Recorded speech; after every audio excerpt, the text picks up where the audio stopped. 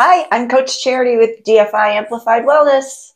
And I'm also with DFI Amplified Wellness. What's your name? Coach Devin. Oh, hi, Coach Devin. Let's talk about VO2 Max today. Yes. What do you know about VO2 Max? Ooh. Oh, never mind. Uh, I'm going to tell you about VO2 Max. Um, so VO2 Max is important because it is one of the biggest predictors of the length of your life. But also important is that it is such a modifiable risk factor for all cause mortality.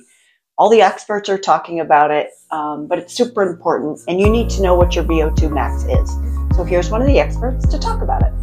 Your VO2 max is one of the most significant predictors of all cause mortality that we know of. In fact, if you compare it to more traditional markers like blood pressure, smoking history, cholesterol levels, while those are all very important, VO2 max can be two to three to even up to four fold higher predictor of survival and mortality than those other traditional markers. So it's insanely important. And in fact, many folks would argue it is the most important metric to pay attention to if you want to know how long you're going to live. Now, I apologize for being overly dramatic about that, but really it is that astounding about how important that number is to determining how long you're going to live. The other important point about this is there is no upper limit, such that the higher your VO2 max, the higher your chance of survival continues to go. So now that you've heard Dr. Galpin talk about it, we hope you feel a little uh, more motivated to go through the pain of what a VO2 improving workout looks like. And for example, it's not always pretty. Like this one. It's no beauty pageant. Or that that one. There's some ugly faces going on while you're working your max heart rate. I don't care. I want to live a long, healthy life. I don't mind being really ugly.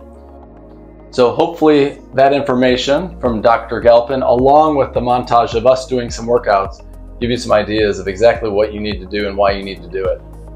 So keep listening to us, keep following us, join us so you can learn exactly what your VO2 score is and what you need to do to improve it. Is that it, Charity? That's it for now, Devin. All right, until next time.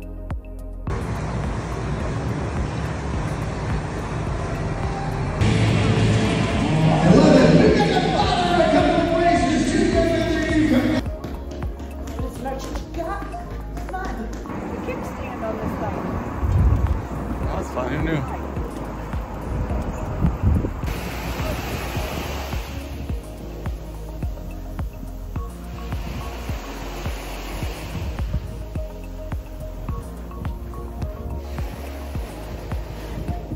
Doubt if I can catch him.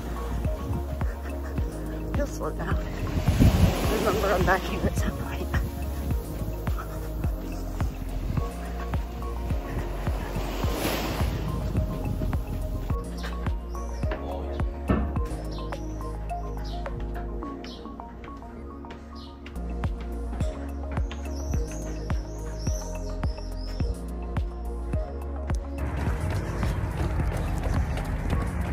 scenery out here. Very bumpy.